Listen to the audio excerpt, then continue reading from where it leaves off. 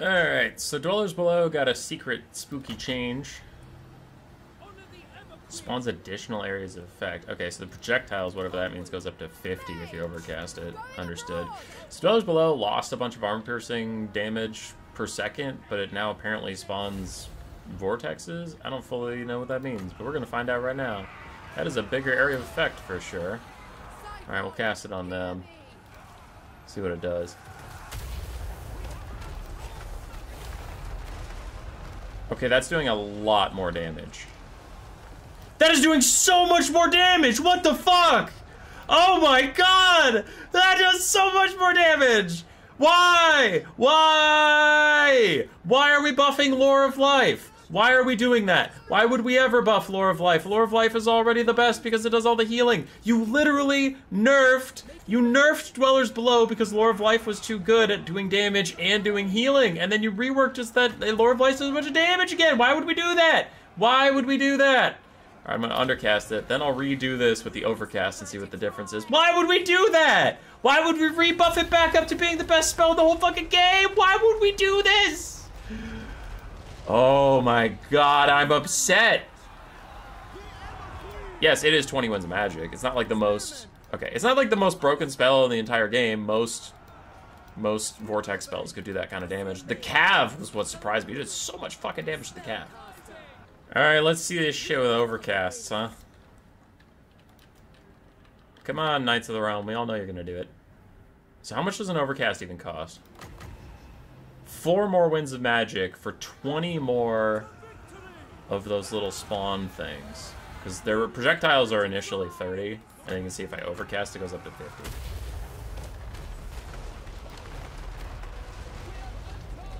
That's so much damage! That's so much, that's not okay! How is that okay? Why? Why is the Lore of Life even better? Why?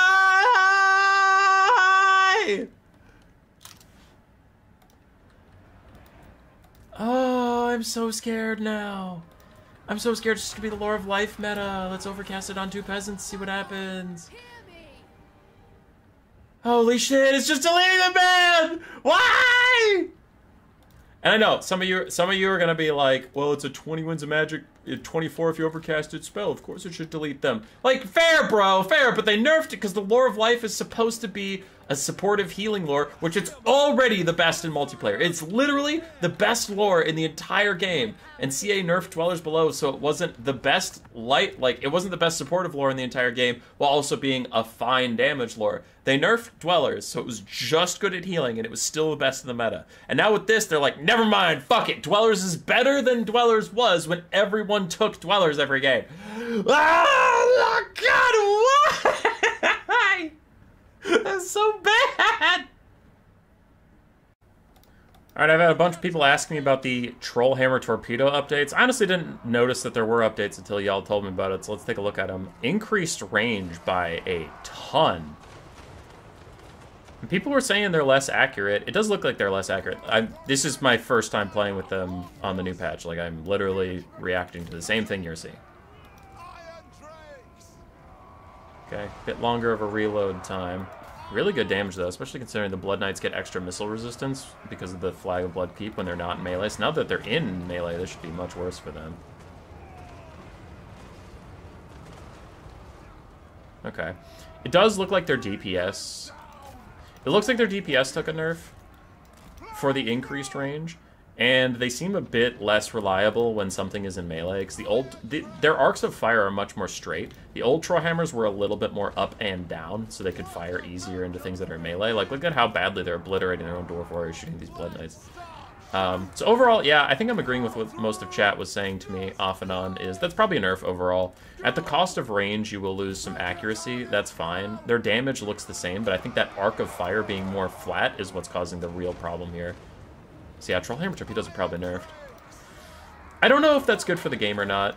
Personal opinion, I love Trollhammer Torpedoes. I think they're very fun and funny. But I also know that when dwarves are strong, Trollhammers can be really fucking annoying because they're hard to take out. They're super tanky and like they do on the live patch they did insane damage, but super short range. Like So I could see, like, if they were super strong and OP, they could be unfun. But yeah, I do think this is a nerf to them. That's a little unfortunate because I love this unit so much. But for game balance and game design, I don't actually know if it's a bad idea. So we'll see. The last one is kind of interesting, but also probably not a great idea. Uh, Dwarves got Ulrika.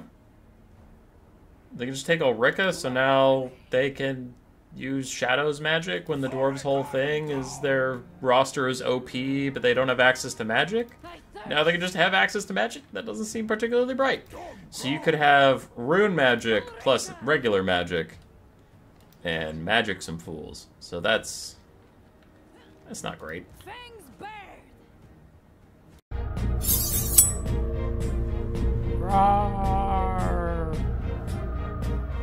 Subscribe, yes, yes.